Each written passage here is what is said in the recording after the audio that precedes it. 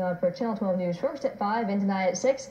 And of course, we're probably going to be something about the Masters. Hello, Dave. Hi, Peggy. You know, most of the golfers out here looking for the green jacket this week. Well, I'm wearing the green shirt, so I got the next best thing. Beautiful day again today. And of course, the big news of the day, the par three contest. Lachlan McLean, Paul Davis will have full coverage. We have two crews on the course right now, gearing up uh, which will it'll start about two o'clock. We'll have all the highlights for you later on. Also today we'll talk about security. We'll show you what folks are doing to keep you safe inside and outside of the gates of the National. And also we showed you some of the hot items outside of the gates as far as souvenirs were on Washington Road. Well, today we'll take you inside and show you what the hot, hot items are here at the National. Now, folks may be complaining about the lines at the souvenir shop, but nobody complaining about the weather, Bob You're Smith. right, especially myself. Uh, you know, we thought it would be much cloudier today, or at least the bulk of the day. And look at it, not a cloud in the sky. It's just a beautiful day. And that uh, just goes to show you, uh, I think the green jackets over there in the main office there have a direct line upstairs. It never rains on the golf course, Bob. well, I don't know. Uh, this weekend may uh, may change all of that. Let's take a look at the five-day forecast now. We'll be able to see that uh, increasing clouds are on tap for Friday, but tomorrow's a nice day. A little bit on the chilly side, 68 for a high, 70 on Friday. Slight chance of a shower late in the day. Then Saturday and Sunday, computer models are showing a chance of showers or thunderstorms each day. Now, the timing of these, whether they're going to come in the evening, the morning, the afternoon, or maybe overnight, is yet to be seen. But uh, be on the lookout. Be prepared for showers and thunderstorms Saturday and Sunday with highs 72 to 74. And as everybody heads back home, partly sunny on Monday, 68 degrees. That's it from here, Peggy. We'll wrap it up. We'll send it back to you. All right, thanks, you guys. And thank producer Dave Grendzynski is where all the action is. A beautiful day to be at the Masters, Dave. That is correct, Peggy. And I can tell you what, it looks beautiful, but it is very windy on the course, and I can tell you that the scores are high. Just talked with some folks who are inside the press room. I got an update on the leaderboard, and the scores are up there, and the wind is to blame. Of course, tonight we'll have all the highlights from it for the from the first round for you later on. Paul and Lachlan are uh, going to have that for you. Lachlan McLean is heading out right now. Some of the golfers are coming off the course as I speak. We'll talk to some of them, find out about those windy conditions. Also today, about 145 the uh, pairing that everyone is waiting for, Nick Faldo and Tiger Woods, they will tee off at that time. And also, Laureate will be following them. She's going to follow the gallery and uh, give us a glimpse of Tiger Mania. And also today, if you're getting a little golfed out, it is the Thursday of Masters Week. We uh, continue our travel guide to the area. Head out to Aiken and do some things. We'll show you some things to do out there. And uh, basically, the weather, Bob Smith, uh, pretty much you can do anything you want, no matter where. Augusta, Aiken, hey. Swainsboro, you name it. Dave, it's a beautiful day, but you, you, can see the wind kicks up now and then. And of course, with the wind coming and going, that makes it even more difficult. And of course, the dry weather has caused the greens to be very, very fast. And so we have some high scores. And it looks like the dry weather will continue through tomorrow and the breezy conditions also through tomorrow. Looking for a high about 65, 68 today. It's about 58 out here right now. I want a quick uh, peek at the weekend. Okay, weekend looks like Saturday, showers and thunderstorm, be 6 degrees. So Saturday's the day we're focusing in on for the really heavy thunderstorms that could bring some really heavy rains. Okay. Thanks, Bob. That is it from the National for now. We'll be back at 5 o'clock with all of your first round action. Peggy, back to you. You guys make sure you keep that sunscreen on because even though it's a little bit windy and maybe a little bit cooler, you might get burned and then it'll be unhappy for the weekend. Exactly. Thanks, guys.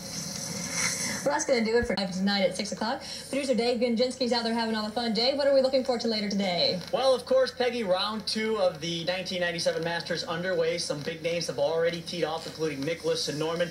Big names yet to come, including Stankowski and Azinger, of course, Tiger Woods, and our leader, John Huston. We'll, we have two crews on the course right now. We'll have all the highlights for you. Paul and Locke will be here at 5 and 6 with not only the highlights, but the latest leaderboards. Now, folks get out here early. When they know the big names are going off late, they get to these holes early. The 15, 16, 17, 18 holes. You won't believe how early they get there. Donnie Porter will show you that later on today. And also tonight, end of the week, maybe looking for a new place to eat. We have some places you may not have known about in Augusta that you can take in uh, uh, a dinner tonight. Now, Bob, tonight might be the, the night to eat dinner out on the patio. Uh, that's right. It'll be a nice, mild night. Uh, I think the rain will not come in until after midnight. By the way, I've been paring every hole every day this week. but tomorrow, I think I think I'm going to uh, pull some bogeys tomorrow. But uh, looks like we'll get the rain tomorrow. There's a really good bet, about a 70% chance of rain tomorrow. Maybe some steady rain in the morning, then maybe clearing out a little little bit, and then in the afternoon, of course, the threat of a thunderstorm, and that's what we're really concerned about uh, is the thunderstorm. It's been a beautiful week all week. Tomorrow a little rain, but that's no That's problem. right. Sunday looks pretty good, though. 72 degrees with plenty of sunshine. It's going to be windy, though. Okay. So that will be challenging for the golfers. Okay. Peggy, that's it from the National. We'll see you at 5 and 6 o'clock with the latest and the leaderboards. All right, thanks, you guys. David Justice and Marquis Grissom are now Cleveland Indians. Dave Grendzynski joins us live in the newsroom with more on the trade. Well, Peggy, you know, it's a trade that if you're a Braves fan and you've been following the Braves, it really shouldn't come as a surprise to you at all. It's really a move that's being done out of financial reasons more than anything else. In return for Grissom and Justice, the Braves will get all-star outfielder Kenny Lofton and left-handed pitcher Alan Embree.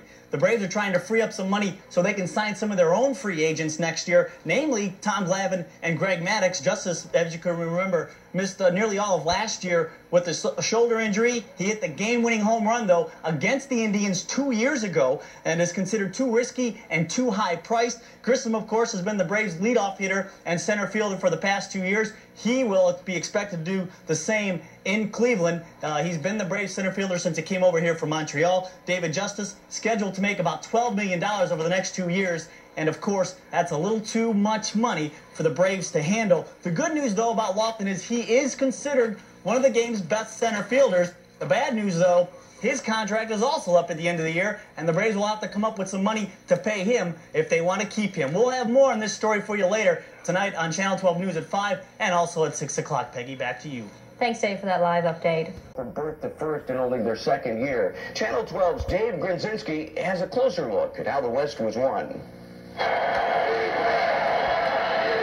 There's no secret as to how the Panthers won their first NFC West Division title.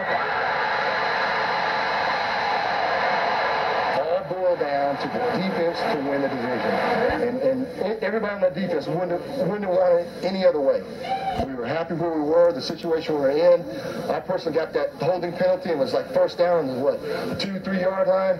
And then we were able to sack whatever and, and just, just come after them. And then the big turnovers. The Panthers hounded Steelers quarterbacks Mike Tomczak and Kordell Stewart all afternoon, holding them to just 102 yards passing for the game. I thought we were I thought we were playing well. I mean, we dropped one in the long scramble on Kordell Stewart, and he's just that type of athlete that can just just make things happen. I mean, that's just Kordell, and um, so it's a matter of just keeping him in the pocket and containing him the second half. The additions of Pro Bowlers Lamar Lathon and Kevin Greene gives this team better leadership never seen before by an expansion team. Well, I'll tell you what, the two times in the heart of this team, hey, we're on the right track. The combination of four Pro Bowl starters and a defensive-minded head coach in Dom Capers, and the equation becomes simple. Defense wins championships. Mission accomplished, baby. It's just the start. Now we're going to the postseason. Show everyone that the Panthers for real. That's what it's all about. What it's all about, baby. Great feeling. Number one right now, win the NFC West. Champs. So the Panthers will take this NFC West championship as an early Christmas present, they know the fruits of their labors could come at the end of January in New Orleans. In Charlotte, Dave Grendzynski, Channel 12 Sports. The Panthers won the most important battle of all. On a team carried by its defense all season long, Carolina knew to beat the Dallas Cowboys, they needed to control the line of scrimmage. I can't say enough about those guys. They played as well as any offensive line has played in probably the last half of the season. We haven't been getting credit for anything all year, and, and I don't think we ever will. But uh, we're just going to come out and we're going to, you know, take care of our business. All game long, the Panthers pounded the Cowboy front line, gaining nearly 130 yards on the ground against a defense that only gives up just over 90 yards a game. Did you guys feel coming in you could run the ball that well? I, I think each of us did. Yeah, we felt like we had to, and uh, it certainly played a big part in the game. I'll be, I'll be honest. I'm surprised we ran the ball as well as we did. Uh, that just goes to show you what kind of, what kind of offensive line they are. They came out and they decided they were going to win. They were going to win the line of scrimmage and, and battle their asses off, and that's what they did. And when Carolina needed to throw, Collins had the time to put it up. Just like an offensive lineman, you guys won this game.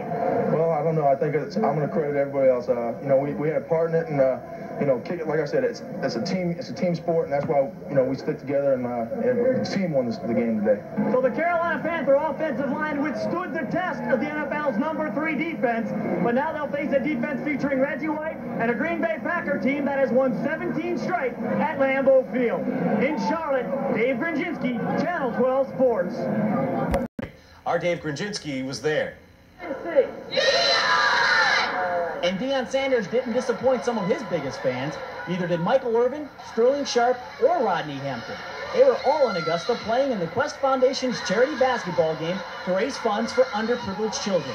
This is a great occasion to be able to get to know us, and it's a great occasion for us to get to know them. The great thing about the NFL, we all come together for a good cause. One of the guys call, and everybody rushing, not just anybody. I mean, you got the Deion Sanders, and me, myself, you know, you got the Rodney Hamptons, the Sterling Sharpe, we're big names. Big names they are, and play big they did, and nobody went home without a smile. Anytime it's something for the kids, you know, uh, I'm willing to do it. So, uh, like I said, it's a great cause, and I'm glad everybody came out to support Arthur this weekend. I'm really happy with the guys that came out. Uh, I owe them one now, and uh, we're just planning on having a great evening. So for one day, the NFL's elite gave up open field tackles for wide open jump shots, but it didn't matter because it was all for the kids. In Augusta, Dave Grendzynski, Channel 12 Sports. All right, thank you, Dave. The news that the NCAA would not impose additional penalties on the Georgia football program had Georgia's top dogs breathing a sigh of relief. Realistically, I don't know how they could have, uh, what would have been better or, or worse, but I know that, uh, you know, I'm pleased that we have this behind us. We are aware that it's rare for the committee to accept an institution's investigation and self-imposed sanctions without additional penalties, and for that we are grateful. Not only can players and coaches get their minds back on football, the staff can now look to build again towards the future. The number one concern of all the kids that we recruited was was uh, were those two factors, uh, bowl and TV implications, and we kept telling them that it wasn't going to happen, but they, you know, everybody else was saying that we were going to get the death penalty. I regret that uh, Coach Donnan has to inherit this situation since it would be a handicap, but I have complete confidence that he will work through the problem and eventually give us the type program that we all want at Georgia. And Coach Donnan agrees. I do, don't feel like this is going to be uh, a handicap that will uh, keep us from uh, reaching our goals. Sanford Stadium is quiet today, but that doesn't mean the Bulldog faithful isn't cheering because school officials know the program crossed the goal line for the first time this year. In Athens, Dave Grendzynski, Channel 12 News.